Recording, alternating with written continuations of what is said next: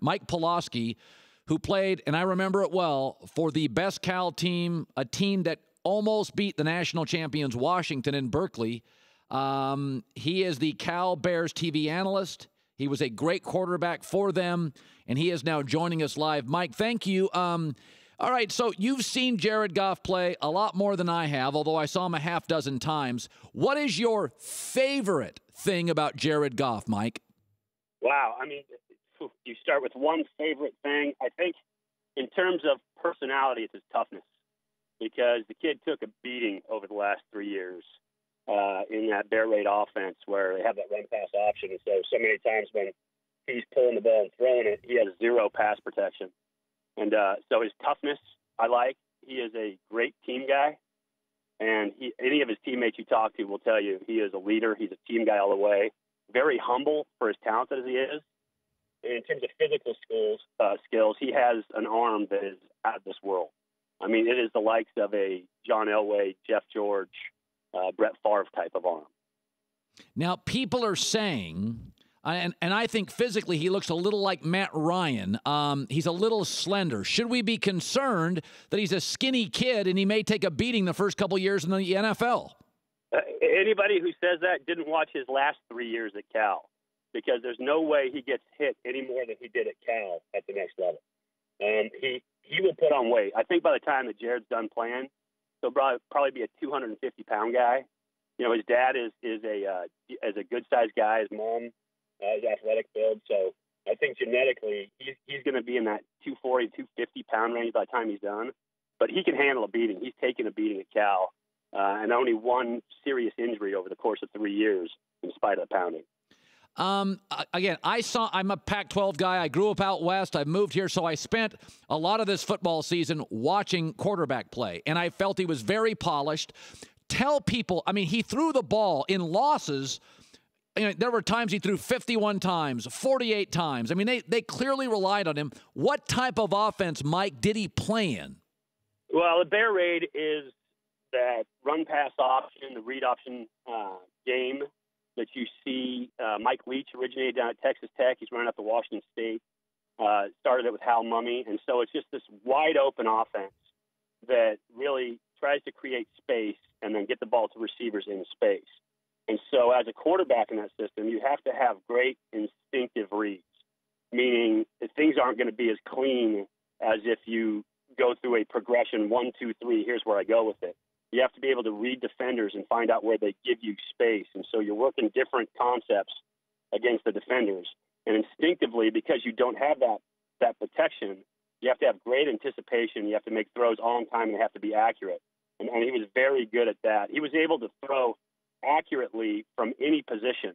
Uh, I liken his ability to throw off balance to, to Kurt Warner, who you could see Kurt Warner throw from almost any position. Jared Goff can do that, but he's got a bigger arm than Kurt had. You play the National Football League, uh, I think XFL. I remember, yeah, Arena League as well. Mike Mike Pawlawski.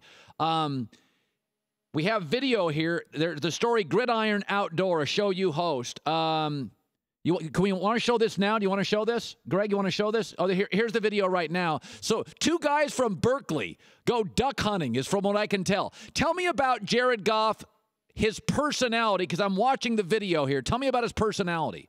Well, well, we're out hunting pigs actually in California. So there's a big pig problem in California.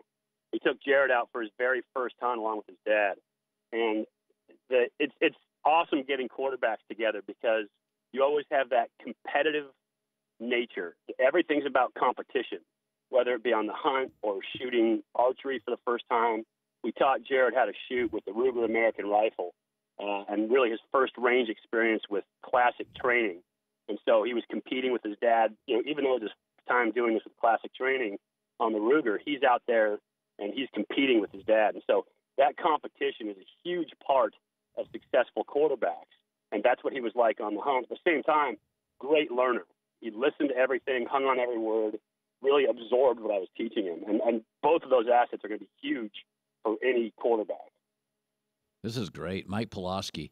Uh, his dad played Major League Baseball. What kind of dad, um, personality wise, what should we expect with Jared Goff? You said he's a good learner. Is his dad tough on him? He's a former big leaguer. Yeah, his dad. His dad is the classic athlete dad. You know, he always competes with his son. We were talking about it during the show, and actually, anybody who watches the show or anybody who wants to check it out, they can go to our social media sites uh, for Gridiron Outdoors. There's a lot of clips up there. But he he talks about the competition that he established with his son, and that he never gave him an inch and never said, "Hey, I'm going to let him win." He, he he coached him, but he drove him. And Jared said he thought he was harder on him, like any kid will be, right? Any kid thinks their dad's harder on them. But in the end, I think all that paid off in terms of Jared's progression and his toughness, his ability to handle that one in eleven season that he had as a freshman, and then come back and flourish as a sophomore, and then really kind of control the game as a junior. I'm going to say something, and it's going to sound ridiculous, but I watched Jared Goff during the Jon Gruden quarterback camp, and you know who he reminded me of? He reminded me of Tom Brady. He really did. He was very humble. Um, didn't give anything away like Brady. Really good looking kid, very confident. But I found him to be Tom Brady. He was disciplined enough with Gruden that he would laugh at the jokes. He knew what he was talking about, but he was pretty succinct. He wasn't going to give a ton of his personality away. So I don't know. I I I, I defend the pick. I, I have no problem with it. I think he carried a program. Uh, Mike Pawlawski does the Bears uh, games and uh, it's kind of exciting. I, I, hope it works out for him. I really appreciate you coming on the show. You've been great today, Mike. No problem. Absolutely been great. Anytime you want me on, we get guys on all the time. We have Hostetler on this year. We had Big Ben on this year. So we got guys coming out on Gridiron Outdoors all the time. And, and if anybody, by the way, wants to get any of that camo that he's wearing, Go Wild Camo is a major sponsor for us. So feel free to check it out. Mike Pawlawski. Thank you, sir.